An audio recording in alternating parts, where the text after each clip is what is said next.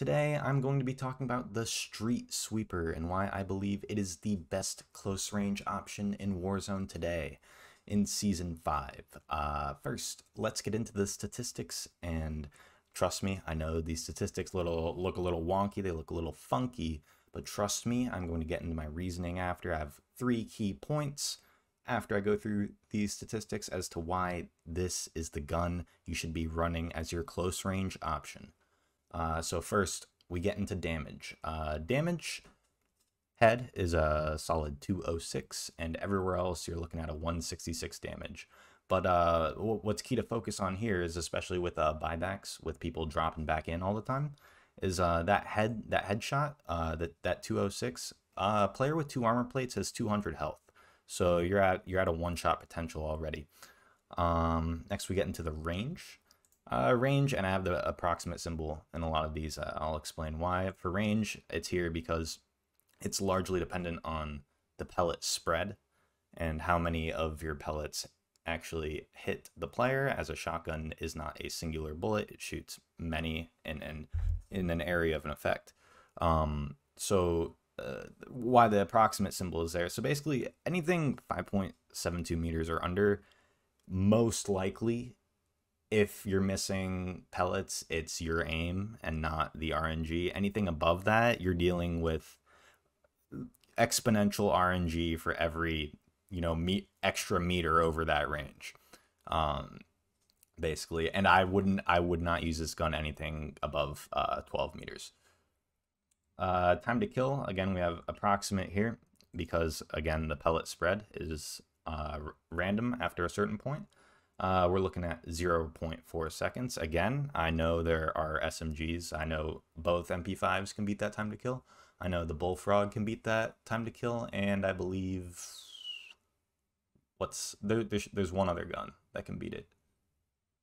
Uh, not sure. I know there are guns that can beat it though, and uh, I'll again I will explain why I still believe the Street Sweeper is a better option than any other SMG or, or uh, close range option. Uh, shots to kill, again, approximation, same reason as the other two. Uh, you're looking at two to five in the range in the ranges that you would be using the weapon. Obviously, it could be infinite at, at high ranges. Uh, for fire rate, we're looking at 300 rounds per minute or one shot per every 0.2 seconds, and that's that's gonna be pretty big.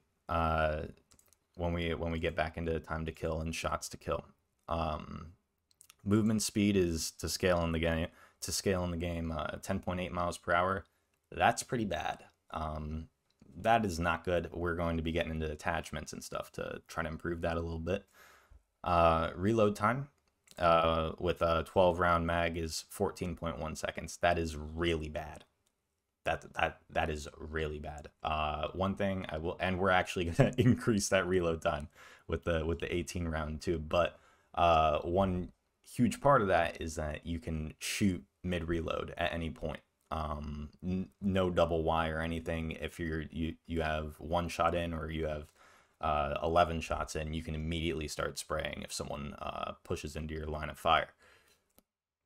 ADS speed is uh, 250 milliseconds, although I do believe a hip fire build is best for this weapon.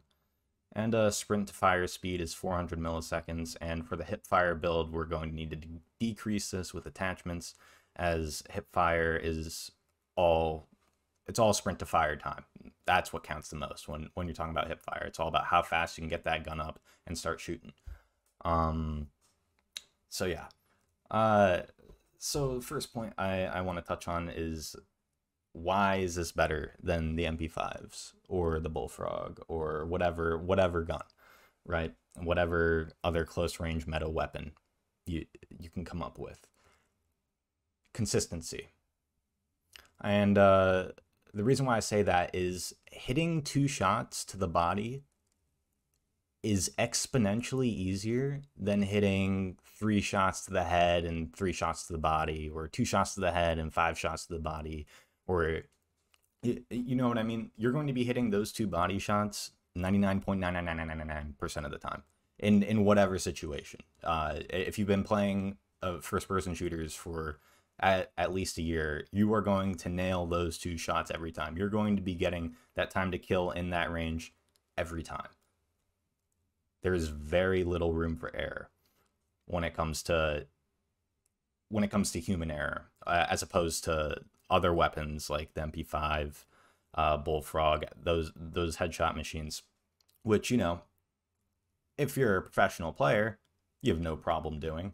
But for the average, for the average Call of Duty player, it, you know, get getting those, especially if you're dealing with quads, multiple gunfights, getting those time to kills over and over and over and over and over again is just it's it's just plain unreal. I, it's unrealistic for me. I mean, I use the MP5. I, I this is not the only weapon I use. I I you know, it's hard to have fun in a game if you're using the same same thing every time. But uh, yeah, I just find my most consistent games are with the Street Sweeper because of this. Because I can I can hit two body shots. Anybody can hit two body shots. The player could pick up the game today if they are in a in a room in a building. They're a threat. Any player with the Street Sweeper, regardless of skill level, in the right range, is a threat to any to any skill player. Right, and and this is part of why I think it's part of it is the overall meta choice for uh, for close range in Warzone right now. Secondly, uh, you might ask yourself if this is truly the best close range option. Uh, why don't more pro players use it? Why aren't the best players in the game using the best weapon? And uh, again, this really boils down to consistency and and separating your yourself from the pros because uh, I am not, you know, I am not a professional Call of Duty player. You are likely not a professional Call of Duty player. They're able, they use those guns. They go for versatility because if you're if you're a professional Call of Duty player, you're doing usually one one or two things. You're going for content, which means you're going for the most kills possible in a game or you're going for some kind of wager, some kind of tournament, which again, you're usually, it's usually a kill race unless it's a custom lobby. Uh, you're going for kills, right? And when you're trying to squeeze the most possible kills out of a game, you want the most versatile weapons possible because you need to be able to challenge anybody at any range anytime any every single uh every single possible confrontation you're gonna find yourself in. Like uh, you find yourself in these situations every Warzone game you play, where oh, do I want to fight this team or not? That that's not a question. For they're fighting the team, right? And no matter no matter what the situation is, Street Sweeper is an extremely situational weapon. And what comes with using the Street Sweeper is knowing how to control a gunfight and control situations, and make make sure you're setting yourself up for success.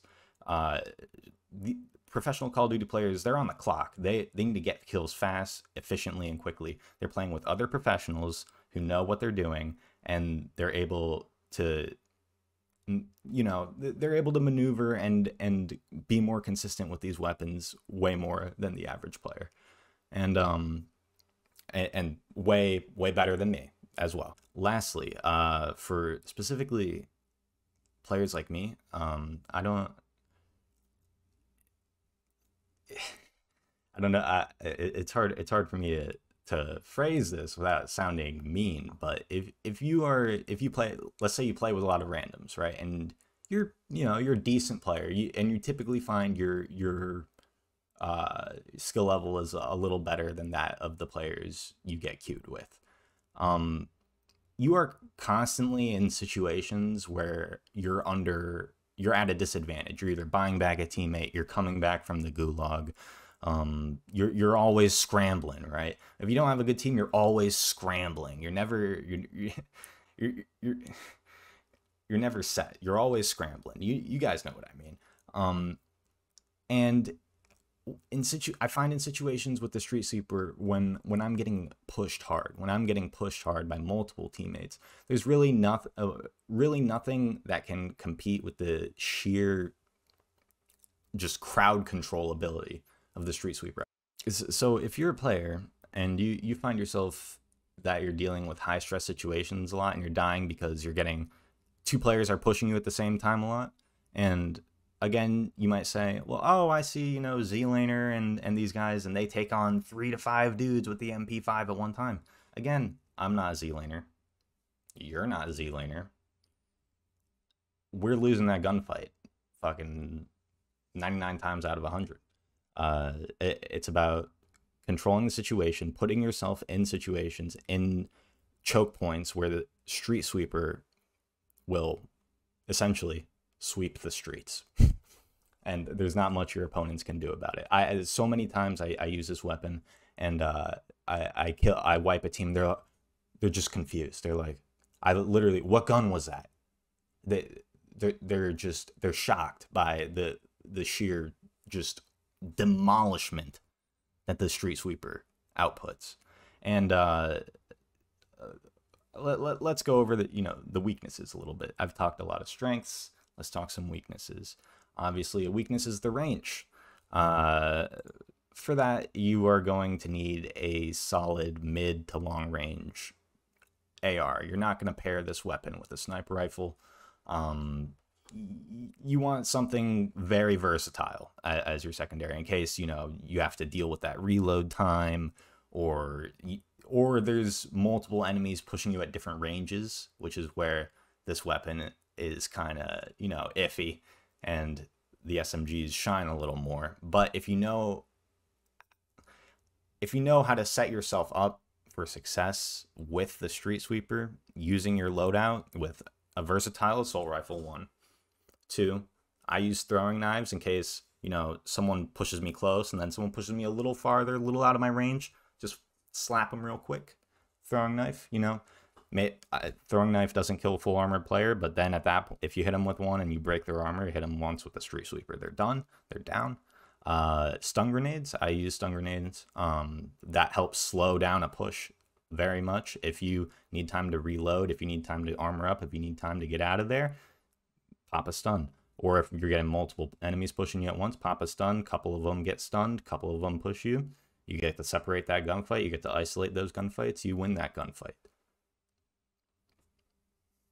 And now, of course, we go to the reload time. As I've said, you can reload, you can shoot mid reload, but this reload is brutal, man. If you're using the 18 round tube like you should be, especially if you're playing with, against multiple opponents, uh, that reload's going to clock in in about 21 seconds, which is absolutely brutal. This is the only, I, it's a necessary downside to this gun, but it is a huge one. This is, a, again, why pros don't use the Street Sweeper.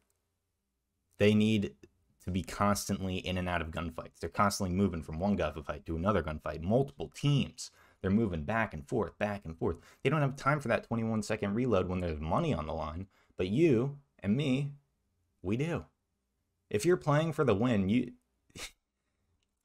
choose your gunfights. Use the street sweeper, choose your gunfights, and you will win. You will win. Now let's get into the loadout. So I just hopped in game here real quick. Uh, we're going to show you the loadout. Um, here we have my street sweeper. We're going to run the agency choke for, you know, general damage range. Sound suppression, always nice. Reinforced heavy for some added damage range. You want to increase that range as much as you can. Ember Sight a point for hip fire accuracy. STANAG 18 round drum. And uh, this is kind of where you can get a little funky with it, but I choose to go with no stock just for that sprint to fire time. I think that has saved my ass so many times in uh, situations where I'm either pushing hard or getting pushed hard and I need to pop those couple of shots off before the other guy can. Uh, even though it does, you know, decrease the hip fire accuracy a little bit, I think it I think it's worth it. Um, as you can see, the rest of the loadout here, I'm running an experimental AMAX. I'm kind of eh, on. I I don't know. You can. You, I'll show it if you wanna if you wanna try it. Um. Uh, personally, I don't know. I would. uh, for for the average player, I'd recommend maybe like a Grow or or something fully loaded. I don't know. Um, it's pretty much personal preference for your primary. Just anything you're comfortable with that's versatile. You can use medium to long range. Go for it. Uh, throwing knife, I personally throwing knife for C4 I think is a must for this class. When you're using the street sweeper and like say you eliminate a guy, right? And he calls out, he's got a shotgun, he's got a shotgun, and say someone on his team actually has a brain and doesn't just blind push you, which is unlikely in this game. Usually they're just gonna blind push you. Um, and he peeks at a range you're not very comfortable with with the street sweeper. Just slap him real quick with that throwing knife. If he's full armor, tag him once with the street sweeper, he's down. Um, also the stun grenades. Uh, I know, I know people love the heartbeat, and again, I know pros. Again, the reason why the pros use the heartbeat is because kills equal money for them, like actual money.